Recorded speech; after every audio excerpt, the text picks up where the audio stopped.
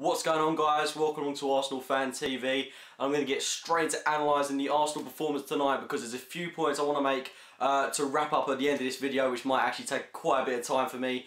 But the performance tonight, it was a great win. Arsenal looked so convincing. Another North London derby win and it was it was an absolute great game of football. Tottenham, we kept them so quiet for I'd say about 80 minutes of that game.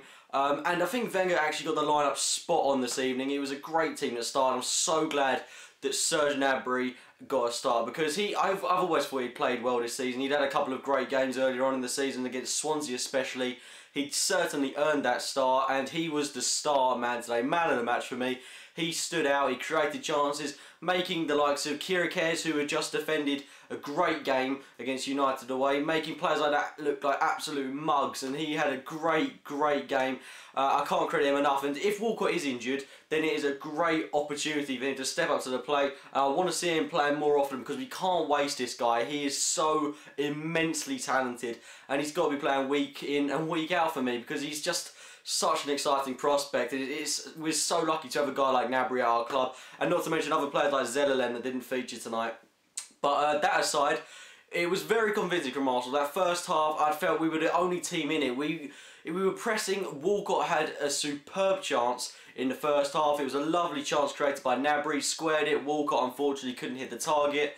Um, we had a couple of other chances. Again, I think Walcott missed another golden opportunity. Uh, and, you know, it was only a matter of time before the goal was coming. And one player, another player who actually stood out for me for the whole game today, Nacho Monreal, I thought he had an absolutely fantastic game. He had spot on performance. His crosses are absolutely superb and his tracking back as well. The same goes for uh, and Walcott. I thought their tracking back was immense today. I'm glad to see them mucking out, doing a bit of dirty work and really helping out defensive duties because we did certainly look very sound today. Vermaelen, again, another player that had a really good game, went off at half time. Uh, Koscielny, again, everyone played extremely well for Arsenal today. It's one of the best performances I've seen from Mikel Arteta today as well. I'm really impressed with him. Um, but like I was saying, we dominated that first half, only a matter of time before the goal came, and I think it came in about the 30 minute mark.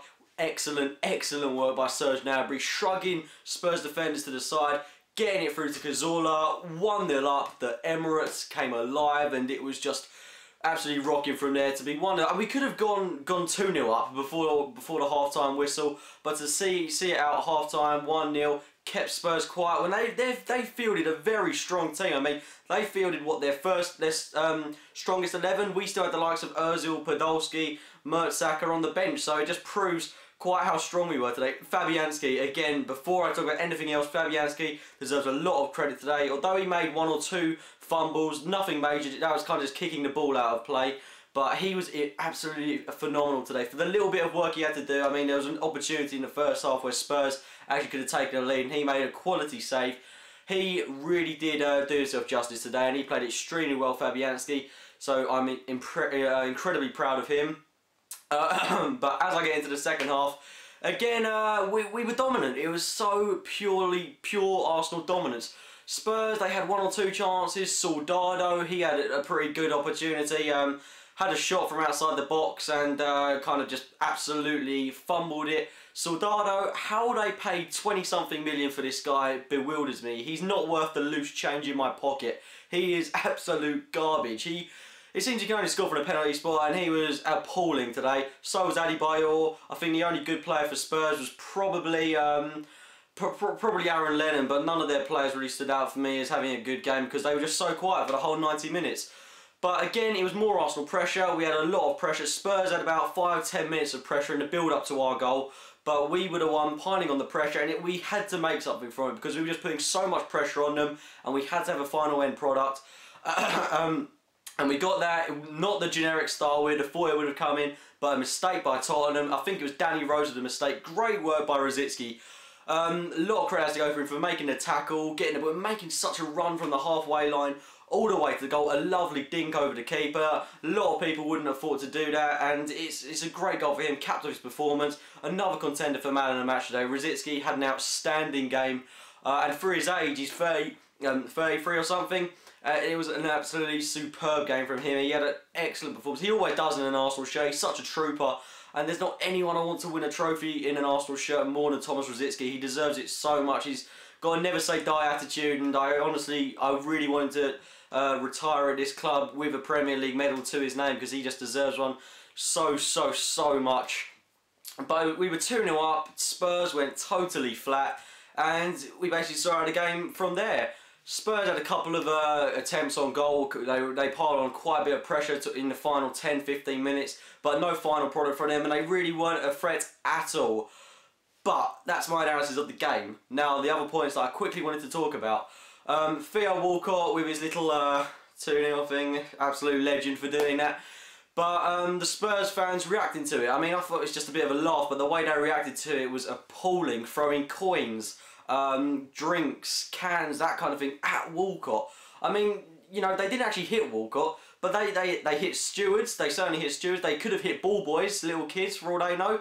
It, it could have gone, a, I really hope that gets investigated. I mean, people saying uh, that the FA could investigate Walcott for, for, for the... Uh, for the gesture, investigate Spurs fans for throwing a shed load of garbage at him. And then it wasn't even that, they were doing it before Walcott was getting stretched up. They were throwing it at Fabianski as well. It's absolute classless, classlessness from them. It's, it's, it's pitiful, it's pathetic, it's cowardly.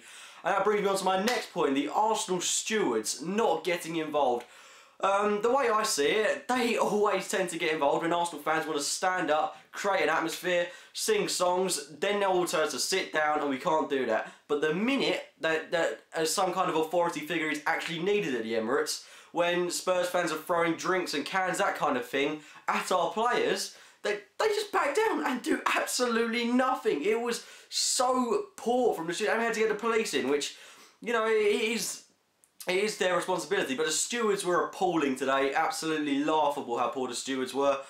But, you know, it, it, wasn't about the stewards, it was about Arsenal, and it was a great win today, and we're progressing through to the next round of the Cup. We've got a significantly long rest now until the Villa game, and uh, this is massive. This is something to go on, and I'm just so, so pleased tonight. It's uh, couldn't really have asked for a better performance from Arsenal. The atmosphere was amazing, the Emirates was buzzing, it was just a great night. Um, but leave, let me let me know your thoughts on the game. Um, it'd be great to hear your opinion on this one. Leave a like rating if you did enjoy the video. And uh, as always, thank you for watching, guys.